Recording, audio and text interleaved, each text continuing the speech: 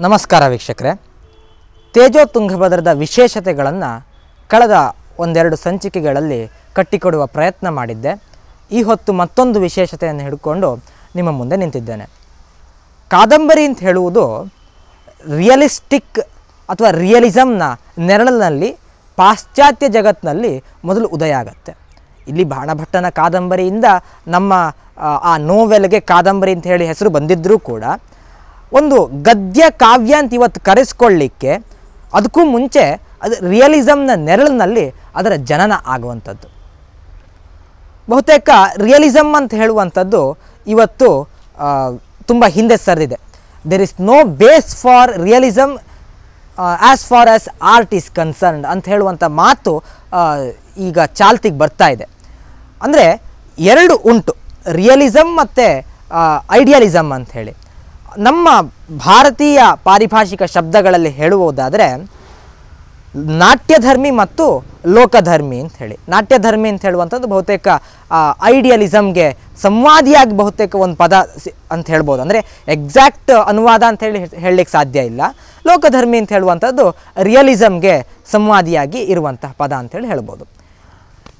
ಕಾದಂಬರಿ ಅನ್ನುವಂಥದ್ದು ರಿಯಲಿಸಮ್ನ ನೆರಳಿನಲ್ಲಿ ಶುರುವಾಯಿತು. ನಂತರ ಅದು ಕಲೆ ಆಗಬೇಕಾದಂಥ ಒತ್ತಡಕ್ಕೆ ಮಣಿದು ಅದು ಕಲೆ ಆಗಲಿಕ್ಕೆ ಹೊರಡ್ತು.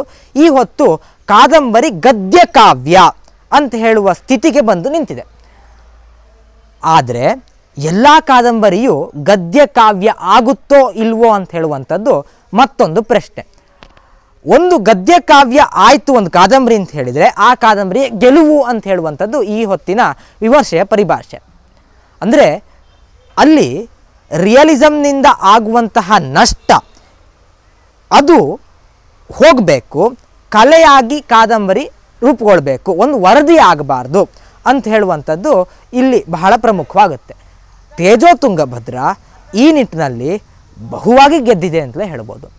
ಅಂದರೆ ನಿಮಗೆ ಸ್ಪಷ್ಟಪಡಿಸಬೇಕು ಅಂತ ಹೇಳಿದರೆ ಜಗತ್ತಿನಲ್ಲಿ ಏನು ನಡೀತಾ ಇದೆಯೋ ಅದನ್ನೇ ವರದಿಯ ರೀತಿ ಹೇಳುವಂಥದ್ದು ರಿಯಲಿಸಮ್ ಹಿಂದೆಲ್ಲ ಈ ಫೋಟೋಗ್ರಫಿ ಕೂಡ ಒಂದು ಡಾಕ್ಯುಮೆಂಟೇಷನ್ ಪ್ರೊ ಪರ್ಪಸ್ನ ರೀತಿ ಇತ್ತು. ಆದರೆ ಇವತ್ತು ಫೋಟೋಗ್ರಾಫಿ ಕೂಡ ಬೇರೆ ಬೇರೆ ಫ್ರೇಮ್ನಲ್ಲಿ ಬೇರೆ ಬೇರೆ ಕಲರ್ ಕಾಂಬಿನೇಷನ್ನಲ್ಲಿ ಮೂಡಿ ಬಂದರೆ ಚಂದ. ಅದು ತುಂಬ ಆರ್ಟಿಸ್ಟಿಕ್ ಆಗಿರುತ್ತೆ ಅಂತ ಹೇಳುವಂಥ ಒಂದು ವಾದಕ್ಕೆ ಬಂದು ನಿಂತಿದೆ. ಅದೇ ರೀತಿ ಕಾದಂಬರಿಯೂ ಕೂಡ ಈ ರಿಯಲಿಸ್ಟ್ ಈಗ ನಾನು ಒಂದು ಎಕ್ಸಾಂಪಲ್ ರೂಟ್ ಕ್ಯಾನಲ್ ಅಂತ ಹೇಳಿ ಒಂದು ಡೆಂಟಿಸ್ಟು ಡೆಂಟಿಸ್ಟ್ರಿಯ ಒಂದು ಪ್ರಕ್ರಿಯೆ ಇದೆ. ಅಂದರೆ ಅಲ್ಲಿ ಹಲ್ಲನ್ನು ಸಾಯಿಸ್ತಾರೆ. ಹಲ್ಲು ಹುಳುಕಾಗಿದೆ. ಆ ಹಲ್ಲನ್ನು ಉಳುಕ್ಸ್ ಉಳಿಸಿಕೊಳ್ಳುವಂಥ ನಿಟ್ಟಿನಲ್ಲಿ ಹಲ್ಲನ್ನು ಸಾಯಿಸ್ತಾರೆ. ಇದು ಒಂದು ವಾಸ್ತವ ಜಗತ್ತಿನಲ್ಲಿರುವಂತಹ ಒಂದು ಕ್ರಿಯೆ. ಇನ್ನೊಂದು ನನ್ನ ಸಂಬಂಧಗಳಿಗೆ ಸಂಬಂಧಪಟ್ಟಂತೆ ಸ್ವಲ್ಪ ಭಾವನಾತ್ಮಕವಾಗಿ ನನ್ನ ಸಂಬಂಧ ಎಲ್ಲ ಹಾಳಾಗ್ತಾ ಉಂಟು. ನನಗೆ ಸಂಬಂಧಗಳನ್ನು ಉಳಿಸ್ಕೊಳ್ಳಿಕ್ಕೆ ಸಾಧ್ಯ ಇಲ್ಲ ಅಂತ ಹೇಳುವಂಥ ಪರಿಸ್ಥಿತಿ ಉಂಟು. ಎರಡೂ ಕೂಡ ಒಬ್ಬನೇ ವ್ಯಕ್ತಿಗೆ ಆಗ್ತಾ ಇದೆ ಅಂತ ಹೇಳಿ ಭಾವಿಸ್ಕೊಳ್ಳಿ. ಆವಾಗ ಆ ವ್ಯಕ್ತಿ ಕಲಾವಿದನಾಗಿದ್ದರೆ ಈ ರೂಟ್ ಕ್ಯಾನಲ್ನಲ್ಲಿ ತನ್ನ ಹಲ್ಲು ಏನು ಸಾಯ್ತಾ ಇದೆ, ಜೊತೆಗೆ ತನ್ನ ಸಂಬಂಧ ಏನು ಸಾಯ್ತಾ ಇದೆ, ಇವೆರಡನ್ನು ಒಟ್ಟಿಗೆ ತೆಗೆದುಕೊಂಡು ಹೋಗಿ ನಿರೂಪಣೆ ಮಾಡ್ತಾನೆ. ಅದು ಅವನ ಚಿತ್ರದ ಮೂಲಕನೂ ಆಗಿರ್ಬೋದು, ಅಥವಾ ಅವನ ಬರವಣಿಗೆಯ ಮೂಲಕನೂ ಆಗಿರ್ಬೋದು, ಅಥವಾ ಅವನ ಕವಿತೆಗಳನ್ನು ಬರೆಯುವ ಮೂಲಕನೂ ಆಗಿರ್ಬೋದು. ಈ ರೀತಿ ಕಲಾವಿದನ ರಿಯಲಿಸಮ್ನ ನೆರಳಿನಲ್ಲಿ ಎರಡು ರಿಯಲಿಸ್ಟಿಕ್ ಥಿಂಗ್ಸ್ಗಳನ್ನು ಇಟ್ಕೊಂಡು ಒಂದು ಕಲೆಯನ್ನು ಸೃಷ್ಟಿ ಮಾಡ್ಬೋದು. ಈ ರೀತಿ ಹಲವಾರು ರಿಯಲಿಸ್ಟಿಕ್ ವರ್ಣನೆಗಳನ್ನು ಕಾದಂಬರಿ ಹೊಂದಿರುತ್ತೆ. ಆದರೆ ಅದರ ಹದರ, ಹದವಾದ ಮಿಶ್ರಣ ಒಂದು ಕಲೆಯಾಗಿ ಕಾದಂಬರಿ ರೂಪುಗೊಳ್ಳಿಕ್ಕೆ ಸಹಾಯ ಮಾಡುತ್ತೆ. ನಮ್ಮ ತೇಜೋತುಂಗಭದ್ರ ಬಹುವಾಗಿ ಗೆದ್ದಿದೆ ಅಂತ ಹೇಳುವ ಕಾರಣ ಏನು ಅಂತ ಹೇಳಿದರೆ, ಹಲವಾರು ಐತಿಹಾಸಿಕ ಅಂಶಗಳಿವೆ ಇಲ್ಲಿ. ಇಸ್ವಿಗಳೆಲ್ಲ ನೇರವಾಗಿ ಇಲ್ಲದೇ ಇದ್ದರೂ ಕೂಡ ಐತಿಹಾಸಿಕ ಅಂಶಗಳಿವೆ.